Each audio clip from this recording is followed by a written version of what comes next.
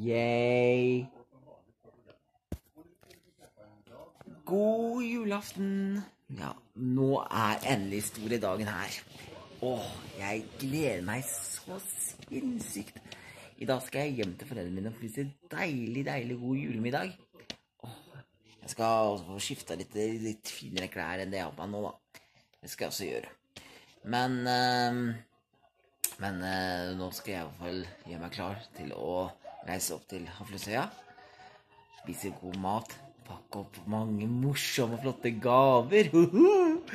Og så skal det bli mye, mye gøy. Ja, sitter akkurat nå og sitter og ser på Kalanka og Hans venner. Ja, dem må jeg jo ha med meg hvert år. Ja, Kalanka og Hans venner som ønsker en god jul. Dem må jeg ha med meg hvert år. Så det er helt klart. Åh, nei, åh, nå gleder jeg meg så sinnssykt til jul. Ja, eller det er jul! Eller gleder meg til i kveld, da. For å si det sånn, for å være ærlig. Så gleder jeg meg masse til i kveld. Jeg kan bare nyte maten, nyte alt. Kose meg med gavene, og jeg gleder meg så sinnssykt til å åpne dem. Åh! nå drømte jeg om alle gavene jeg kommer til å få. Åh. Åh.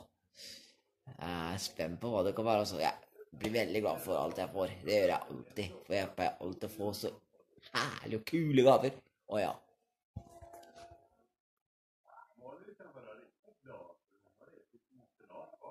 Ja, men så bra, da. Da kan du få pakka nisse. Ja. Sånn det er, det, vet du. Å ja. Åh, jeg tenker at det er 24. desember alt. Det er så ikke lenge siden jeg starta med denne julekalenderen. Og nå er det slutt. Men jeg har en veldig god nyhet til dere. Ja da, det blir ny julekalender neste år også. Og den heter Andreas Andy Olaussen på eventyr. Juhu! Starter 1. desember neste år. Hoho! Bare å glede seg.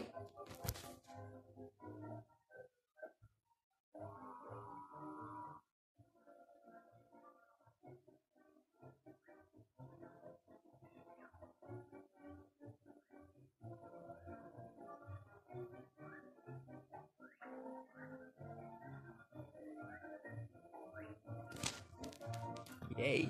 Ja, da har jeg ikke mer å si. Fra meg til alle dere en riktig, riktig god jul.